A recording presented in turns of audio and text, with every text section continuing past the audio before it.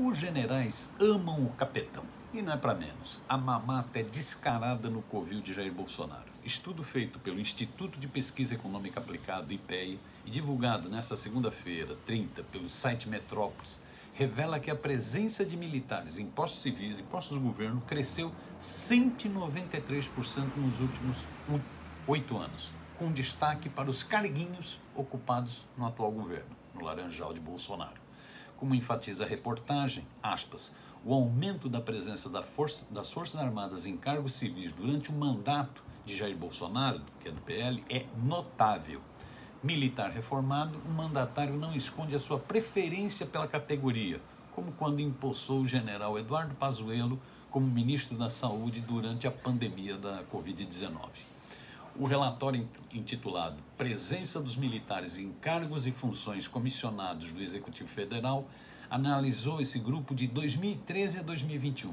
Segundo IPEA, nesse período, o número de militares ocupando cargos em funções civis aumentou 193%. Já a presença em cargos comissionados cresceu 59% durante esse período.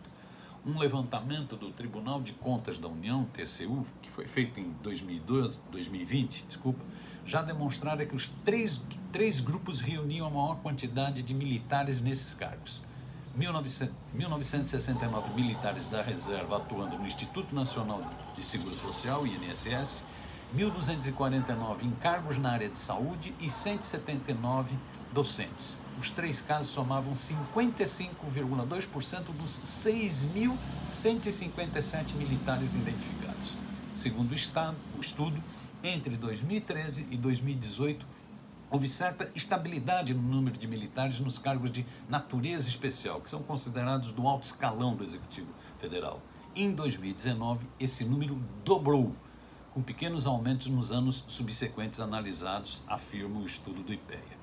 Jair Bolsonaro é um laranja do chamado Partido dos Militares. No início de abril, num encontro com dirigentes da Central Única dos Trabalhadores, CUT, em São Paulo, o ex-presidente Lula garantiu que atuará para enfrentar essa distorção caso ele seja eleito. Aspas. Vamos ter que começar o governo tirando quase 8 mil militares que estão em cargos sem prestarem concurso. Vamos ter que tirar. Isso não pode ser motivo de bravata, tem que ser motivo de construção, afirmou o ex-presidente. Como já havia falado em outros eventos, o líder petista argumenta que o exército não serve para a política. Para ele, papel dos militares é não é o de puxar o saco de Jair Bolsonaro nem de Lula. Eles têm que ficar acima das disputas políticas.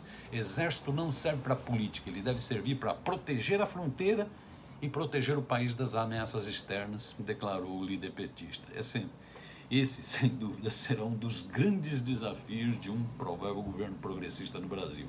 E ele não pode virar bravata dessa vez.